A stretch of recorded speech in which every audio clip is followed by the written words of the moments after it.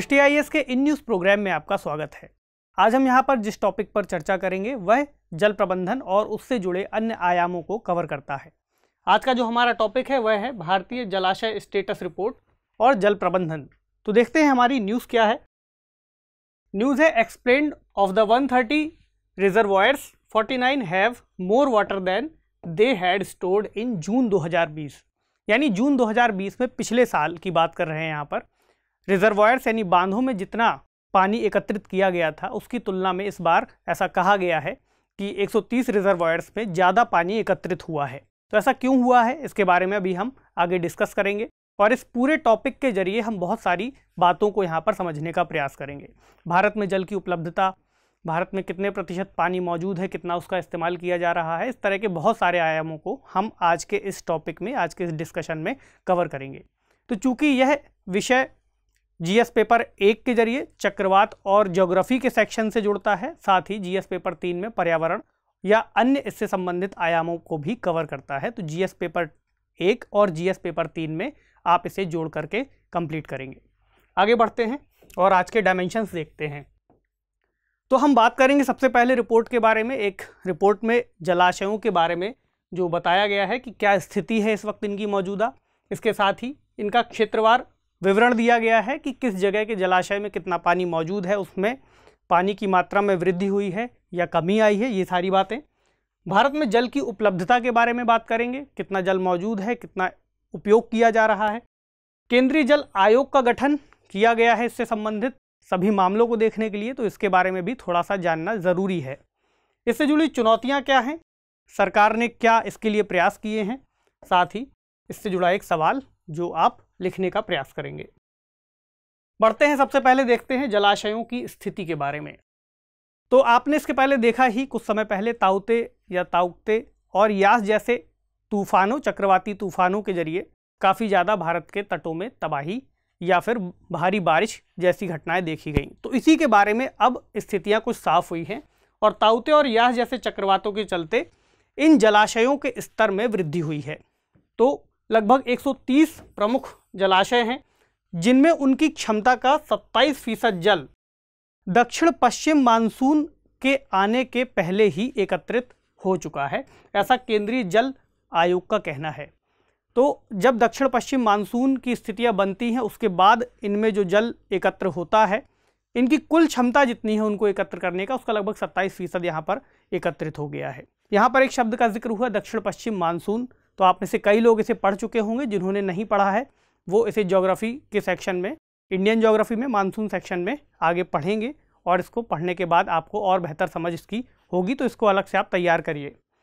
आज के इस सेशन में मैं बहुत सारी बातों को आपको अलग से भी बताऊँगा कि आपको किस तरीके से उन्हें तैयार करना है, ताकि आपको इस विषय के बारे में तो कुछ अधिक स्पष्टता हो सके और आप इसे और बेहतर तरीके से समझ सकें। चूँकि इस एक प्रोग्राम में बहुत सारी बातों को एक साथ कवर नहीं किया जा सकता, जल प्रबंधन अपने आप में एक बहुत बड़ा विषय है, इसलिए उसके बारे में आप अलग से भी अपने एफर्ट्स डालिए ताकि आप अपनी तैयारी को और बेहतर कर सकेंगे। तो हम बढ़ते हैं टॉपिक पर।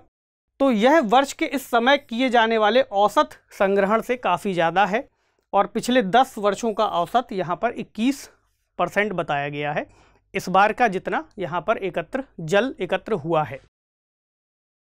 अब बढ़ते हैं यहाँ पर ग्राफ में, अगर हम देखें तो 2020-21 में जितना जल एकत्र हुआ है और 10 साल के एवरेज को अगर देखें तो यहाँ पर जो लाइन भूरे कलर में या ब्राउन कलर में है, आप उसे देख सकते हैं कि वह औसत से इस बार ज़्यादा है। तो यह यहाँ पर आंकड़ा दिखाता है। अब बात करते हैं हम आगे कि कितना, कौन सा जलाशय वृद्धि हुई है, किस जलाशय में और किस जलाशय में कमी आई है। तो 130 जलाशयों में से उनचास जलाशयों में जून 2020 की तुलना में अधिक पानी एकत्रित हुआ है। इसमें अधिकांश जलाशय झारखंड, त्रिपुरा, आंध्र प्रदेश, तेलंगाना, केरल, कर्नाटक और तमिलनाडु में मौजूद हैं। तो ये कुछ ऐसे राज्य हैं जहाँ पर मौजूद जलाशयों के जल में वृद्धि हुई है। वहीं कुछ ऐसे भी हैं जहाँ पर जल में कमी आई है। जैसे पंजाब, हिमाचल प्रदेश, छत्तीसगढ़, उत्तराखंड और महाराष्ट्र, उत्तर प्रदेश, मध्य प्रदेश, ओडिशा जैसे कुछ बड़े राज्य। इधर पे बड़े राज्यों का ज़िक्र है, वहाँ पर छोटे राज्य भी हैं, शामिल हैं इसमें। तो इनके जलाशयों में कमी आई है। इसके अलावा जो दो बड़े बाँध हैं, एक ओडिशा का हरिहर ज़ोर बाँध और दूसरा महाराष्ट्र का उज्जनी या उजनी बाँध। यहाँ पर कहा गया है कि जल का स्तर डेड स्टॉक तक पहुँच गया है। तो एक टर्म यहाँ पर डेड स्टॉक की भी बात कर लेते हैं। डेड स्टॉक का मतलब है कि किसी जलाशय या किसी बाँध में मौजूद जल की मात्रा का इतना कम हो जाना कि वह अपनी सामान्य स्थिति में बह ना सके या उसका बहाव संभव ना हो सके। और उसको किसी पंप के ज़रिए आपको बाहर निकालना पड़े। तो इस स्थिति तक पहुँच जाने की जो घटना है, उसको कहते हैं डेड स्टॉक तो इसका यहाँ पर इस्तेमाल किया गया है, ध्यान रखिएगा। अब बात करते हैं कुछ डायग्राम्स में जिसके ज़रिए हम इसे समझते हैं। तो टोटल बात की 130 रिजर्वायर्स की, जिसमें लगभग सामान्य परिस्थितियों से 80 प्रतिशत जल बढ़ा है।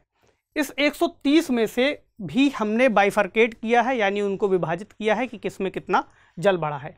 तो 110 ऐसे हैं जिसमें सामान्य परिस्थितियों के मुकाबले 80 फ़ीसद वृद्धि हुई है। वहीं 20 में सामान्य परिस्थितियों के मुकाबले 80 फ़ीसद या उसके आसपास वृद्धि हुई है। 12 ऐसे हैं जहाँ 50 फ़ीसद से अधिक की वृद्धि हुई है। वहीं 8 ऐसे हैं जहाँ 50 फ़ीसद तक की वृद्धि हुई है। ये सेंट्रल वाटर कमीशन के ज़रिए दिए गए आंकड़ों के आधार पर हम बात कर रहे हैं। डेटा वैसे बहुत बहुत सारा है। आप सोच सकते हैं कि इतने सारे डेटा का क्या यूज़ है। तो कुछ डेटा इसमें महत्वपूर्ण हो सकता है आपके एग्ज़ाम के पॉइंट ऑफ़ व्यू से। अगर कोई डेटा के से संबंधित, यदि कोई डेटा से संबंधित प्रश्न आ जाता है तो आप उसको कैसे डील करेंगे? इसके अलावा कुछ डेटा महत्वपूर्ण हो सकता है आपके द्वारा मेंस की आंसर राइटिंग में, जहाँ पर आप यदि डेटा का उपयोग करते हैं तो आपका उत्तर और भी ज़्यादा प्रमाणिक माना जाता है। तो कुछ को नोट कर लीजिएगा, कुछ को समझ लीजिएगा। तो अब बात करते हैं इसके क्षेत्रवार विवरण के बारे में। तो उत्तरी क्षेत्र, दक्षिणी क्षेत्र, पूर्वी क्षेत्र, पश्चिमी क्षेत्र और मध्य भारत के क्षेत्रों को यहाँ पर अलग अलग करके देखा गया है। तो हम इसमें कहाँ पर वृद्धि हुई है, कहाँ पर गिरावट आई है, एक मोटे एक मोटे तौर पर इसकी समझ बना करके चलेंगे। बहुत ज़्यादा आपको वैसे याद नहीं करना है कि यहाँ पर इतने फ़ीसद इतने फ़ीसद, कभी ज़रूरत पड़ गई, दिमाग में रहना चाहिए कि ऐसा भी आपने कुछ पढ़ा हुआ है डेटा से संबंधित। तो उत्तरी क्षेत्र में हिमाचल प्रदेश, पंजाब, राजस्थान के आठ जलाशयों में स्टॉक कुल भंडारण क्षमता का 20 फ़ीसद हो गया है। 2020 में इसी समय पे यह भंडारण जो हुआ था, वह लगभग 38 फ़ीसद हुआ था और 10 साल का जो औसत यहाँ पर 32 फ़ीसद है तो ये एक आंकड़ा है। अगला डेटा यहाँ से यहाँ तक जुड़ता है। जो पूर्वी क्षेत्र की बात की गई है यहाँ पर, झारखंड, ओडिशा, पश्चिम बंगाल, त्रिपुरा, नागालैंड, इन राज्यों में 20 जलाशयों में उपलब्ध जल भंडार, कुल भंडारण क्षमता का 23 फ़ीसद रहा। इस बार की बात है। वहीं पिछली बार इन जलाशयों में 28 फ़ीसद जल भंडारण हुआ था और इसका जो औसत है 10 साल का, वह 21 फ़ीसद है। तो ये डेटा यहाँ पर बताता है। कुछ अन्य राज्य, जैसे पश्चिम जैसे अगर हम बात करें पश्चिमी क्षेत्र की, जहाँ पर महाराष्ट्र और गुजरात के क्षेत्र भी शामिल हैं तो यहाँ पर बयालीस प्रमुख जलाशयों में कुल क्षमता का 28 फ़ीसद जल एकत्रित हुआ है, जबकि पिछले साल यह 36 फ़ीसद हुआ था और इसका जो औसत है वह है 19 फ़ीसद का। अगला यहाँ पर है, मध्य भारत, उत्तर प्रदेश, उत्तराखंड, मध्य प्रदेश और छत्तीसगढ़ का डेटा बताता है कि अभी यहाँ पर भंडारण कुल क्षमता का अट्ठाईस फ़ीसद हुआ है, वहीं पिछले साल सैंतीस फ़ीसद हुआ था और इसका जो औसत है वह है दस वर्षों का चौबीस परसेंट। इसी तरह दक्षिणी क्षेत्र की बात कर ले तो आंध्र प्रदेश, तेलंगाना, कर्नाटक, केरल और तमिलनाडु। यहाँ पर सैंतीस जलाशयों की बात की गई है, जिसमें क्षमता का लगभग तीस फ़ीसद एकत्रित हुआ है। पिछले साल 24 परसेंट और 10 सालों का औसत 17 परसेंट है। यानी यह इस बार ज़्यादा बढ़ गया है यहाँ पर। इस दक्षिणी क्षेत्र के जो राज्य हैं, यहाँ पर जितना भी पानी एकत्रित हुआ है, अभी हमने पहले भी बात की कि वह औसत से ज़्यादा है। तो ये यहाँ पर डेटा बताता है। अब बात करें भारत में जल की उपलब्धता के बारे में। तो भारत में मीठे पानी का संकट इस समय बनने की स्थिति भी बन चुकी है, प्लस देखने को भी मिल रहा है। भारत के पास दुनिया के ताज़े पानी का सिर्फ़ चार परसेंट हिस्सा मौजूद है। ये डेटा बताता है, जबकि आबादी लगभग 18 परसेंट या सत्रह दशमलव सात परसेंट कई आंकड़ों में बताया गया है। तो ऐसे में एक तुलना अगर हम करें कि जनसंख्या के मुकाबले जल की उपलब्धता काफ़ी कम है। प्रति व्यक्ति पानी की उपलब्धता पाँच हज़ार से ज़्यादा थी। पाँच हज़ार एक सौ सतहत्तर क्यूबिक मीटर के लगभग का डेटा है। वहीं 2011 की जनगणना में पता चला कि यह जो आंकड़ा है, यह घटकर 1545 हो गया। यानी इसमें काफ़ी ज़्यादा गिरावट आ गई। 1545 क्यूबिक मीटर, यानी लगभग 70 फ़ीसद की गिरावट यहाँ पर दर्ज की गई। 2025 तक ऐसे अनुमान लगाए गए हैं। 2025 तक और 2050 तक, यानी आने वाले समय में इसमें और गिरावट हो सकती है और यह लगभग 1341 और 2050 तक 1140 क्यूबिक मीटर तक पहुँच सकता है, ऐसा सरकारी अनुमान है। तो हम समझ सकते हैं कि पानी की यहाँ पर किल्लत कितनी ज़्यादा बढ़ती हुई दिख रही है आने वाले समय में भी। इसके कुछ कारणों की अभी हम बात करेंगे कि ऐसा क्यों है, जहाँ पर हमें पानी की समस्या देखने को मिल रही है, जबकि बावजूद इसके हमारे देश में बहुत सारी नदियाँ और बहुत सारे पानी के स्रोत मौजूद हैं। तो जल प्रबंधन की स्थिति पे अभी हम बात ही कर रहे हैं और एक जो प्रमुख बात है वह यह कि 1700 क्यूबिक मीटर से कम प्रति व्यक्ति वार्षिक जल की मात्रा अगर हो जाती है, यानी सालाना 1700 क्यूबिक मीटर से कम प्रति व्यक्ति प्रति व्यक्ति वार्षिक जल की स्थिति को वाटर स्ट्रेस की स्थिति मान लिया जाता है। तो इस वक्त हम देख रहे हैं कि वाटर स्ट्रेस की स्थिति भारत में बनना शुरू हो गई है।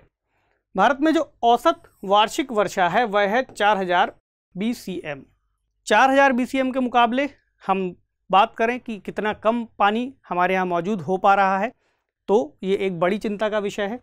कुल सालाना उपयोग करने लायक जल है 1123 बीसीएम और अनुमानित उपयोग करने लायक सतही जल है 690 बीसीएम वहीं जो ग्राउंड वाटर है, वह है 433 बीसीएम यह भी हमने केंद्रीय जल आयोग के आंकड़ों से लिया है।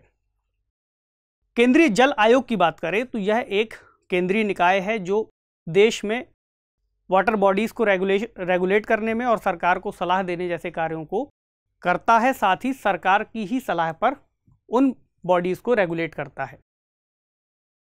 यानी जल संसाधन के क्षेत्र में भारत का एक प्रमुख तकनीकी संगठन है केंद्रीय जल आयोग। वर्तमान में जल शक्ति मंत्रालय, जल संसाधन विभाग नदी विकास और गंगा संरक्षण भारत सरकार के अंतर्गत।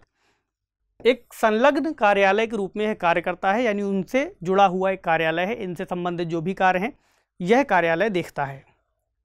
इस आयोग को बाढ़ नियंत्रण, सिंचाई, नेविगेशन और पेयजल आपूर्ति से जुड़ी जो भी योजनाएँ हैं, उनका संरक्षण है, जल विद्युत विकास है और पूरे देश में जल संसाधनों के उपयोग से जुड़ी सामान्य जिम्मेदारियाँ सौंपी गई हैं कि इनसे जुड़ा जो भी काम होगा, वह यह आयोग संभालेगा। ठीक है? तो अब हम बात करते हैं चैलेंजेस की जिन जिनको समझना बहुत ज़रूरी है।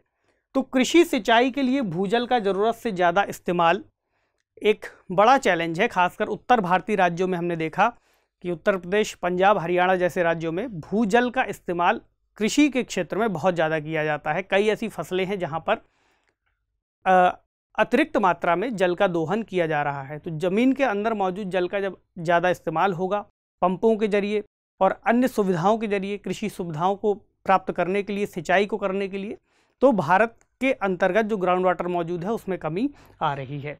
इसी तरह जल निकायों में जैविक एवं रासायनिक प्रदूषकों का मिलना। सबसे पहले तो ये समझ लीजिए कि जल निकाय क्या हैं।